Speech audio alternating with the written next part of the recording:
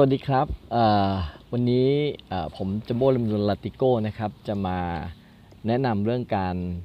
เริ่มต้นการถ่ายรูปนะครับเพื่อจะไปเป็น stocker นะครับจะไปทำงานเกี่ยวกับเรื่องของ production การถ่ายรูปเบื้องต้นเลยนะครับ ผมยังไม่อยากแนะนำให้ทุกคนไปซื้อกล้องแพงๆเริ่มต้นฝึกฝนจากโทรศัพท์มือถือที่เรามีนี่แหละนะฮะสมาร์ทโฟนที่เรามีเนี่ยส่วนใหญ่แล้วเนี่ย มันก็ใช้ได้แล้วนะครับ ถ้าเราต้องการที่มันจะลึกซึ้งมากกว่านี้เนี่ยให้เรามีความมั่นใจก่อน เรามีความสุขกับสิ่งที่เราทำจริงหรือเปล่านะฮะหรือว่ามันเป็นแค่เขาเรียกอะไรนะ กระแสหรือแฟชั่นอะไรเงี้ยผมไม่อยากให้ทุกคนเสียเงินไปเปล่าๆนะฮะลองฝึกกับกับโทรศัพท์มือถือก่อนนะครับ แล้วก็ค่อยๆ ปรับวิธีคิดมุมมอง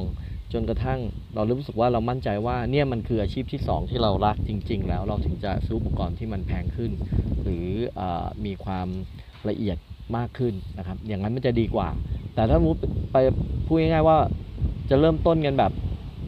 ที่มันแบบแพงๆเลยเนี่ยผมยังไม่แนะนำนะครับ เอามือถือก่อนนะฮะเดี๋ยวผมจะแนะนำเรื่องการตั้งค่านะครับในโทรศัพท์มือถือ ซึ่งแต่ละรุ่นก็จะไม่เหมือนกันนะฮะโทรศัพท์ที่ผมใช้เนี่ยมันจะเป็น vivo นะครับ ซึ่งเอาเป็นว่าใกล้เคียงแล้วกันนะครับ แล้วก็เอา concept นี้ไปปรับกับทุกยี่ห้อได้เลย เพราะฉะนั้นเดี๋ยวคลิปต่อไปนะครับ จะเป็นการแนะนำการปรับนะครับ ปรับเปลี่ยนแล้วก็ตั้งค่านะครับให้เหมาะสมกับที่เราจะเอาไปใช้ในการขายสต็อกนะครับผมเราเริ่มต้นนะครับ เราเข้าไปที่แอปถ่ายรูปนะฮะอันนี้เป็นรูปหน้าผมเลยอ่าเดี๋ยวไปนี่ถ่ายไปข้างหน้านะฮะ การตั้งค่านะครับ เรามาที่เมนูอ่าทำภาพถ่ายนะถ่ายภาพเนี่ยปกตินะครับ แล้วก็มันจะมีให้เห็นทางด้านมุมขวาบนสุดนะครับ เป็นฟันเฟืองเนี่ยเรากดเข้าไปครับ มันจะเห็นการตั้งค่าต่างๆ แถวแรกนะครับให้ตั้งขนาดภาพเป็น 4.3 นะครับ แล้วก็ตั้งเวลาไม่ต้องนะครับแล้วก็การถ่ายโดยการแตะใช้เสียงฝ่ามืออันนี้แล้วแต่ถนัดแต่ผมแนะนำว่า ถ้าเราต้องการละเอียดภาพจริงๆมันต้องมีขาแล้วก็ใช้เสียงเนี่ยจะดีกว่านะครับ เพราะการแตะจะทำให้กล้องมันสั่นไหวได้นะครับ หรือใช้ฝ่ามือนี้ไม่ได้ เพราะว่าเราใช้กล้องกล้องหลังนะครับในการถ่ายเป็นหลัก แล้วก็พื้นที่การเก็บนะครับให้ใช้ SD card นะครับในการเก็บนะฮะกดไปปั๊บเป็น SD card นะครับแล้วก็ลายน้ำต่างๆ ไม่ต้องใส่นะครับ เพราะว่าเดี๋ยวเราจะต้องเอาไปลงเว็บไซต์เนี่ยเขาไม่ให้มี wording ใด ๆ ทั้งสิ้นเลยนะครับ โอเคตำแหน่งภูมิศาสตร์ตั้งได้นะครับเส้นกรอบอันนี้สำคัญมากนะฮะเปิดนะครับ สมมุติมันปิดนี่เราเข้าเข้าไปกดให้มันเปิดนะครับมันจะเป็นเส้นเห็นไหมฮะเป็นตารางที่เห็นเนี่ยเขาเรียกเป็นกริดนะครับกริดมันเป็นกริด9ช่องนะครับเดี๋ยวตรงนี้เดี๋ยวผมมาอธิบายทีว่าความสัมพันธ์มันคืออะไรนะต่อมานะครับองค์ประกอบอันนี้ไม่ต้องนะครับแต่นี้ความละเอียดนะครับปรับไปที่สูงสุดเลยครับ 24 ล้านพิกเซลนะครับทุกครั้งที่ เราจะถ่ายรูปเพื่อส่งขายเนี่ยต้องเอาความละเอียด